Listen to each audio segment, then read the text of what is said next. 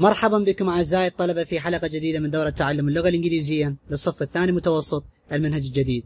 درسنا اليوم ال unit السابع الدرس السابع. عنوان الدرس رمي الأشياء. قبل ما نبدأ بالدرس لا تنسى الاشتراك بقناة اليوتيوب page الفيسبوك الأستاذ طه حسين مدرس اللغة الإنجليزية لمتابعة جميع حلقات دورة الثاني متوسط. نبدأ بالدرس unit 7 lesson 7 ال unit السابع الدرس السابع throwing things away رمي الأشياء. بالبداية يقول لي look at the pictures. انظر إلى الصور. Answer the questions وأجب على الأسئلة التالية. The people in the pictures are being wasteful.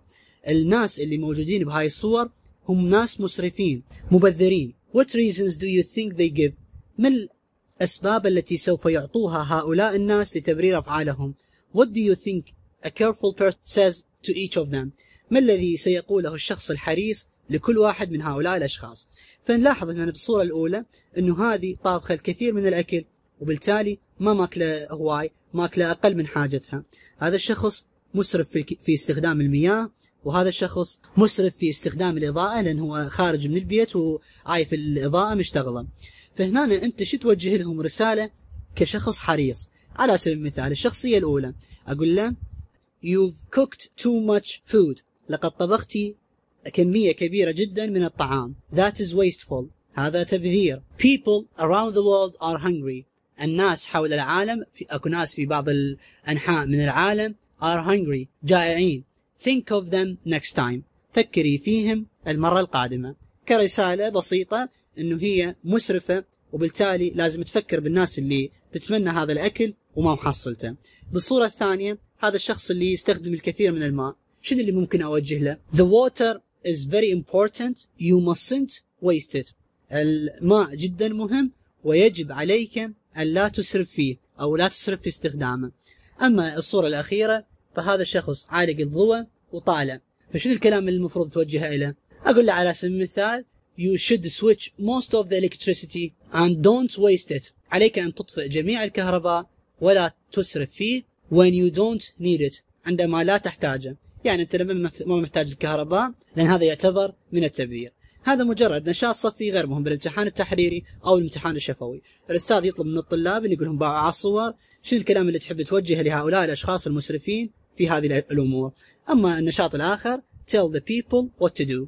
أخبر الناس ما يجب عليهم فعله شوف هنا هذا الشخص يتحدث ويا هذا اللي يرمي النفايات بالشارع. شو يقول له؟ يقول له don't drop litter in the street. لا ترمي النفايات على الشارع. زين يقول لك أنت أحكي ويا ذولا شنو اللي راح توجه لهم إياه؟ مثلا أقول له على سبيل المثال don't drop litter in the street. لا ترمي النفايات على الشارع. don't drop in the park. لا ترميها في المتنزه. don't throw out of your car. لا ترمي النفايات من على سيارتك. don't leave on the beach. ولا تتركها على الشاطئ. هذني كذلك عبارات توعوية يجب أن نستخدمها إذا شفنا شخص يرمي النفايات بالمكان الغير مخصص لها. هذين التعليمات للحفظ لأن راح تفيدنا بالدروس القادمة إن شاء الله. آه لما أنا أرد أوجه شخص إنه ما يسوي هذا الشيء. أرد أمره إنه ما يسوي هذا الشيء. آه هذا مجرد نشاط صفي كذلك غير مهم. بالامتحان التحريري والامتحان الشفوي ما عدا ذن الجمل الأربعة. حاولوا تحفظوها لأن راح تفيدنا إن شاء الله بالدروس القادمة. أما تمرين رقم واحد يقول لي listen again and write notes. استمع واكتب ملاحظات. شوف هنا الطلاب عندي محادثة بين الأب وتمارا وبين الأم وابنها جيمس وبين ناصر وكمال ثلاث محادثات. اقراهن يقول لك اقراهن ذن المحادثات وحاول تجاوب على هذه الأسئلة. هسه نجي نوضح المفردات حاول تسجل ويا المعلومات لأن راح تساعدنا بحل هذا التمرين. الاب يتحدث يقول تمارا you haven't finished لم تكملي الأكل. Yes I have that. نعم لقد أنهيت يا أبي. قالها no you haven't. كلا لم تفعلي. Just look at all that food. فقط انظري إلى كل هذا الطعام. On your plate. على البليت على الصحن.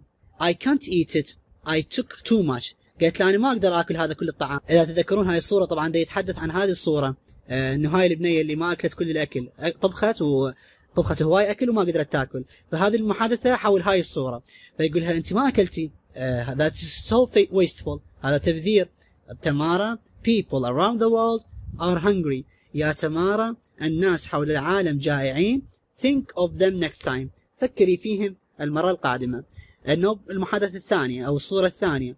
الأم تتحدث ويا جيمس. تقول له جيمس you are wasting water.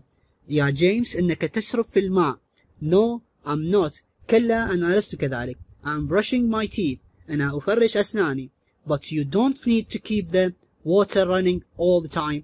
لكنك لا تحتاج لأن تبقي الماء مفتوحا طوال الوقت. It's very wasteful. إنه تبذير. But we have plenty of water. قالها لكن لدينا الكثير من الماء. قالت له yes we have now. نعم لدينا الآن.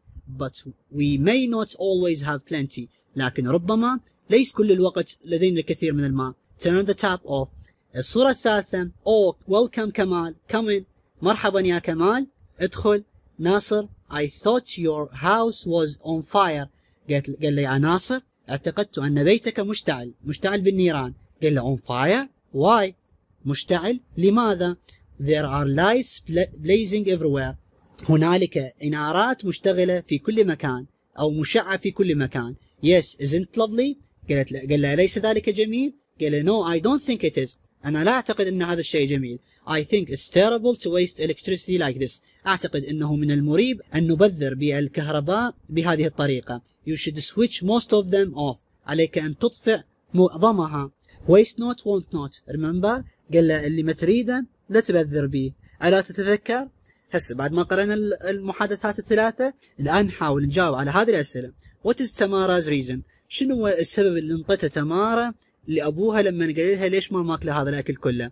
جاوبته قالت له took too much food. لقد أخذت الكثير من الطعام أو أكلت الكثير من الطعام. What is her father's advice? زين شنو نصيحة أبوها؟ قالها think of hungry people. فكري بالناس الجائعين حول العالم. What James reasons? ما هو السبب اللي انطاه جيمس قلنا إن جيمس قال brushing teeth plenty of water. إنه أنا دا افرش أسناني وعندنا هواي مي. What is the, his mother advice? ما هي نصيحة أمه لما شافته يبذر, يبذر بالماء؟ قالت له turn tap off. قالت له أغلق الصنبور. What is ناصر's reasons? ما هو السبب الذي أعطاه ناصر؟ قلنا lights look lovely. بأن الإنارة تبدو جميلة. What is كمال's advice? زين شنو نصيحة كمال له قال له switch lights off. طفي الكهرباء. أو طفي الإنارة.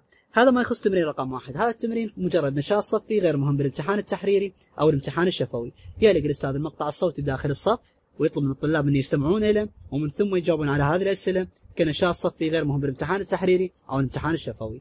أما تمرين رقم اثنين يقول لي read and answer the questions then ask a partner. شوفوا هنا طلاب. هنا أنا مسوي مثل الاستبانة.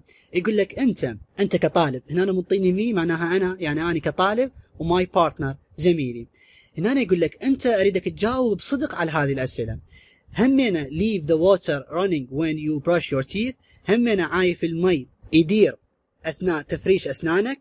تقول له sometimes بعض الأحيان لو always دائما لو never ابدا. فهنا مثلا واحد من الطلاب قال always على سبيل المثال. وراها قال لك زين أنت تطفي الإنارة لما تغادر غرفتك مثلا قلت له never على سبيل المثال ابدا ما نطفيها. قال لك leave food on your plate تترك الطعام أو تترك بقايا طعام على صحنك. مثلا على سبيل المثال قلت له always throw away when there is nothing wrong with them. ترمي الأشياء وهي بعدها ما بيهن شيء مثلا على سبيل المثال تقول له always. بعد ما أنت جاوبت على هذه الأسئلة راح تشوف نفسك إنه أنت شخص مبذر لو مو شخص مبذر. إذا كانت هذه إجاباتك فأنت شخص جدا مبذر. لكن لنفترض إنه أنت سالت زميلك قلت له انت هم تترك المي مفتوح لما تنظف أسنانك؟ قال لك ابدا ما ما اعيفه مفتوح. قال لك زين أنت تطفي الإنارة لما تغادر؟ قلت له مثلا دائما أنا أطفي الإنارة من غادر. زين تعيف طعام؟ على الصحن مالتك لما تخلص؟ قلت له ابدا. وهكذا وقلت له هنا ابدا. هذا الشخص يعتبر غير مبذر. لكن هذا الشخص يعتبر مبذر. فهنا دا يريد يحاول يوضح لك إنه يجب هذه الأمور تنتبه لها. ربما الآن أنت تقول هذا الشيء ربما يكون سخيف أو هذا الشيء غير منطقي لكن مستقبلا لما نشوف إنه بعض الناس تحتاج لأكل أو تتضور جوع أو تموت من الجوع مثل مجاعات أفريقيا أو ما إلى ذلك بعض المناطق بالعالم إنه أبد ما محصلين على الأكل أو أبد ما عندهم كهرباء أو جدا قليل عندهم المي راح تحس بقيمة هذه الأشياء اللي يوضحها لك. فيقول لك أنت حاليا عندك مي وعندك طعام وعندك كهرباء لازم تقتصد بيهن على مود ما تكون مبذر ورب العالمين يحاسبك عليها. آه اذا هذا مجرد كذلك نشاط صفي غير مهم بالامتحان التحريري أو الامتحان الشفوي. أما تمرين رقم ثلاثة يقول لي write an article اكتب مقال. شوف هنا يقول لك اكتب مقال ومعطيك كل تفاصيل المقال اللي المفروض تكتبه. Look back at the river bank clean up campaign in lesson 5 يقول لك تتذكر الدرس اللي اخذته المتعلق بتنظيف ضفة النهر؟ Imagine you were a volunteer. تخيل نفسك أنت واحد من المتطوعين. And went to pick up litter. وذهبت لالتقاط هذه النفايات write an article about your experience. اكتب مقال عن خبرتك. For school magazine لجريدة المدرسة. هذا التمرين قبل ما أبدي بقراءة النص اللي راح نكتبه كإنشاء هذا يعتبر إنشاء الوحدة السابعة للحفظ. فلازم تكتبون هذا الإنشاء وتحفظوه لأن مهم جدا جدا جدا بالامتحان التحريري وكذلك امتحان نهاية السنة. شوفوا طلاب مثلا أنا إيش قلت؟ قلت last week الأسبوع الماضي me and my school friends decided to clean up the central park. أنا وأصدقائي أو أصدقائي بالمدرسة قررنا أن ننظف المتنزه المركزي.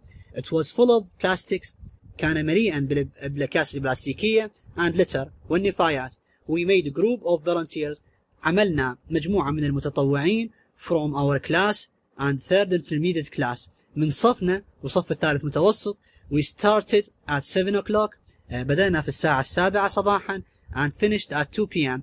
وانتهينا في الساعة الثانية ظهرا we wore cleaning uniform ارتدينا ملابس تنظيف أو زي تنظيف Everyone was working hard الجميع كان يعمل بجد and we were very happy with the results. وكنا جدا سعداء بالنتائج أو بالنتيجة اللي طلعناها. Uh, the park became much more beautiful.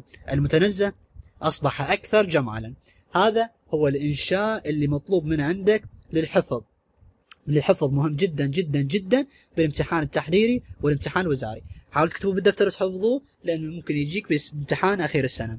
هذا ما يخص درسنا هذا اليوم. لاحظنا أنه درس مهم جدا بانشاء الوحدة السابعة ببعض الأمور التوعوية المتعلقة بعدم رمي النفايات بالشارع بعض النصائح اللي نقولها للناس اللي يرمون النفايات بالشارع بعض الأمور المتعلقة بالتبذير شلون نكون اقتصاديين إلى آخره. أغلب أنشطة هذا الدرس أنشطة صفية غير مهمه الامتحان التحريري والامتحان الشفوي ما عدا الإنشاء والكلمات أو الجمل المتعلقة بالنصائح حاولوا تحفظوها اللي أخذناها بداية الدرس. ختاما شكرا لمتابعتكم للفيديو. أي سؤال أو استفسار أو إضافة تحبون تقدموها تقدرون تواصلون على حسابات الموجوده في الفيديو. في الوصف.